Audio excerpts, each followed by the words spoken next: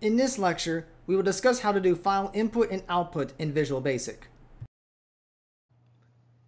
Up to this point, all of our input has gone through the keyboard and some type of dialog box.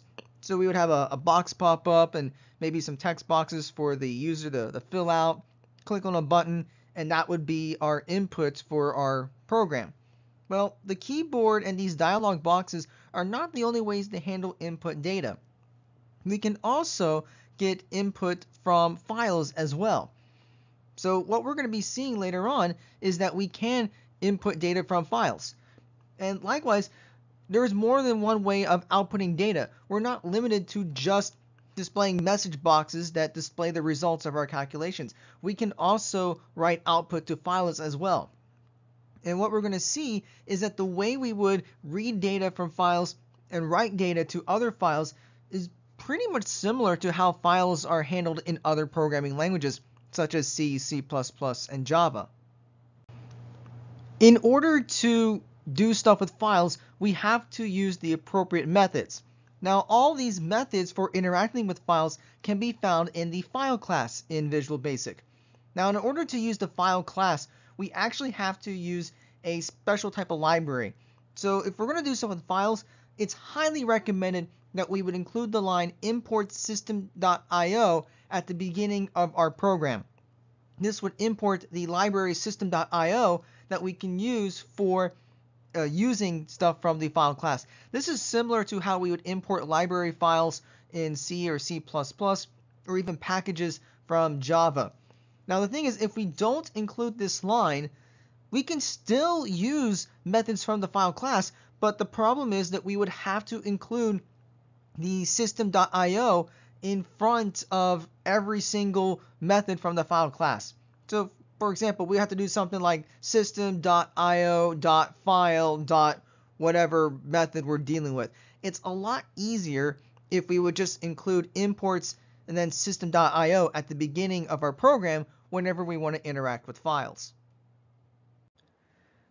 In order to write to a file, we first have to create or open the file. I say create or open because if the file is already there, we would open it. Otherwise, we would need to create it.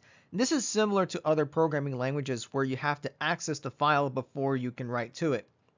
There are several ways that we can go about this in Visual Basic, but I find that the easiest approach is to use the StreamWriter class.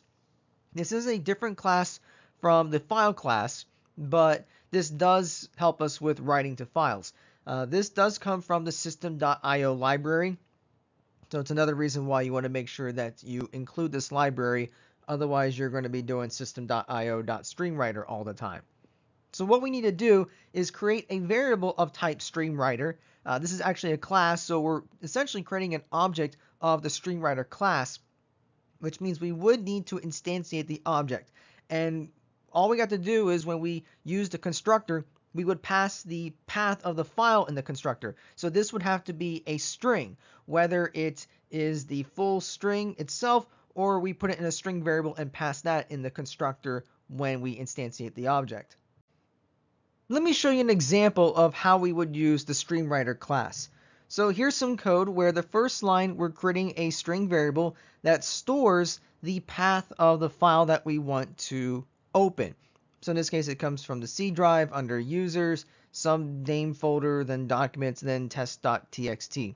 So we would pass that entire string in the variable for the next line. So notice we have dim fw as StreamWriter, and then we set that equal to new StreamWriter, and we pass the string variable.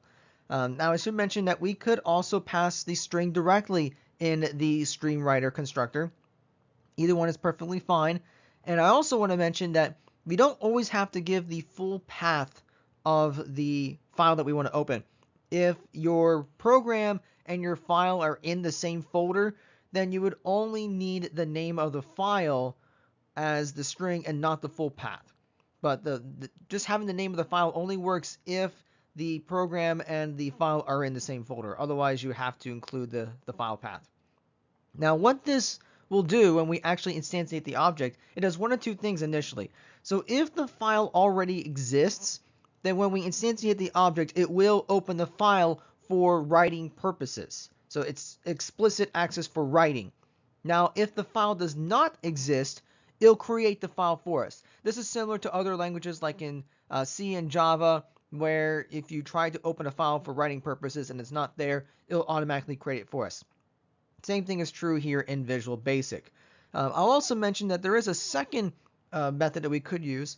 Instead of using the StreamWriter uh, constructor, we could use file.createText and pass the file path in there. It also returns an object of the StreamWriter class. So either one is perfectly fine. I think we're just going to use StreamWriter just for consistency purposes. The StreamWriter class provides several methods that allow us to write to the given file. We're not going to go over all of these. We're just going to mention two very common uh, methods. You're welcome to look up the other methods if you if you want to. One method is called WriteLine, which will write the text that we want to print to the file, and then it adds a new line character at the end. That way the next thing that gets printed would be on a brand new line. We also have the write method. It just prints the text to the file, but it does not include a new line character. So the only difference between right WriteLine and write is one includes the new line character, the other one does not. Let's take a look at a couple of quick examples just so we can see the difference between the write and right WriteLine methods. So let's say we start with this code right here. So we have fw.writeLine and then we pass the string hello and then we have fw.write where we pass the string world. Now fw here is our StreamWriter object. So we're going to write to that particular file. So what this is going to do is we'll print hello in one line, but since we're using the write line method, that means that we're going to print a, a new line character at the end. Now you wouldn't see the character in the file, but the next thing that gets printed would be on a new line. So this is going to print hello world with hello in one line and world on the next line in our file. Now let's take a look at this example here where we use the write method for both hello and world. And what this is going to do is after we print hello, since there's no new line character afterwards, the next thing that gets printed will come immediately after that. There won't even be a space in this particular case. So what would happen is we would still print hello world, it's just that both hello and world will be on the same line and they would just be right next to each other.